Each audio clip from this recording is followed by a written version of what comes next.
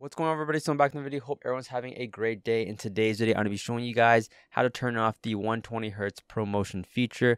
So I don't know why you would want to do this, but if you want to stay on these 60 Hertz at all time, you guys can do this. So obviously this feature, ProMotion feature is only available on the iPhone 13 Pro and 13 Pro Max. So the first thing you want to do is open up your settings application right here. And then you want to scroll down until you see accessibilities.